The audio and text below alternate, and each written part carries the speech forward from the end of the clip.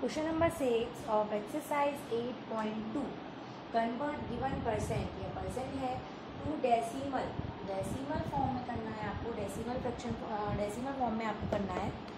और and also to fraction in simplest form. पहले decimal form में करेंगे, decimal fractional में करेंगे fraction में, then fraction in simplest form. और उसको हम किसमें simplest form में करेंगे. मीन्स आपको उसमें टू काम करने टू वर्क करना है तो डेसिमल फॉर्म निकालना है और सिंपलेस्ट फॉर्म में भी निकालना है.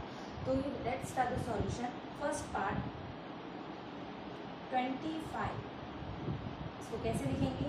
ट्वेंटी फाइव हंड्रेड अब सिंपलेस्ट फॉर्म कैसे होती है? जैसे मैंने लिखा thirty six upon twelve simplest form होती है कि जब तक आप रिड्यूस कर सकें, तब तक उसको रिड्यूस करना है। जैसे टू सिक्स या ट्वेल्व टू वन जा टू टू एट जा सिक्सटीन जैसे टू थ्री जा सिक्स टू एट जा सिक्सटीन और सिंपलेस्ट फॉर्म हो गई आपकी एट अपॉन थ्री ये क्या कहलाती है इसकी?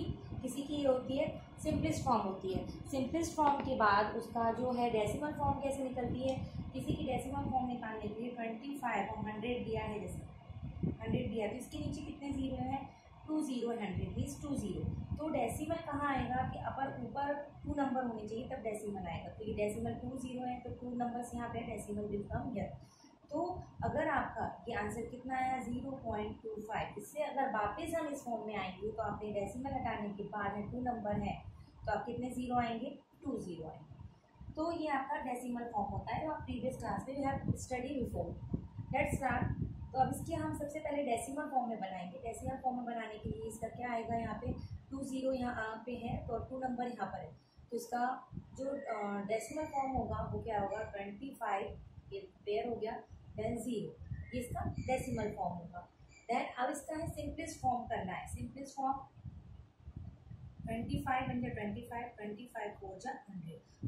फोर इसके आगे तो ये कट नहीं सकता तो इसका सिंपलेस्ट फॉर्म क्या होगा? One upon four now B part one fifty percent one fifty upon hundred अब इसकी आपको क्या बनानी है? इसका आपको सबसे पहले डेसिमल फॉर्म निकालनी है। टू ज़ीरो यहाँ पर है टू नंबर यहाँ पर है। तो इसका डेसिमल फॉर्म बनेगी one point five zero now अब इसका आपको सिंपलेस्ट फॉर्म में निकालना है। तो one fifty upon hundred cut करा आपने टेन टू से काटा टू फाइव जा फाइव से फाइव टू जा टेन एंड फाइव थ्री जा फिफ्टीन आपका सिंपलेस्ट फॉर्म होगी इसकी three upon two simplest form में तब तक रिड्यूस करना है, आपको एक ही नंबर टेबल में से कट करना है, जब तक उसकी शॉर्ट फॉर्म उसका सबसे लीस्ट फॉर्म में नहीं आ जाते, दोनों एक ही टेबल से कटते हुए. Now C part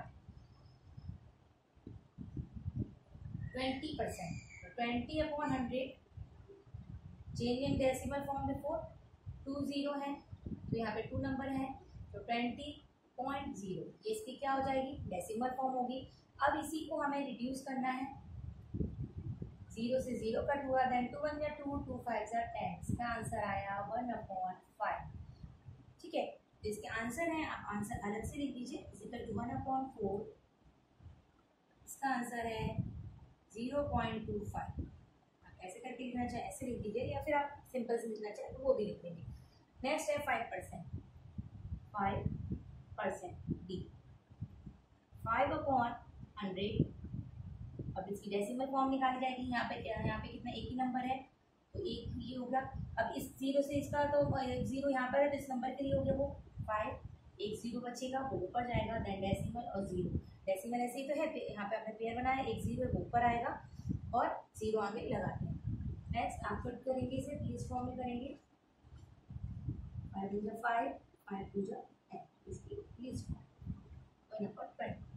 तो इसमें आपको, सबसे पहले तो आपको सिंपलेस्ट डेसिमल फॉर्म में बनाना था देन सिंपलेस्ट फॉर्म में कन्वर्ट करना था। Question number six is completed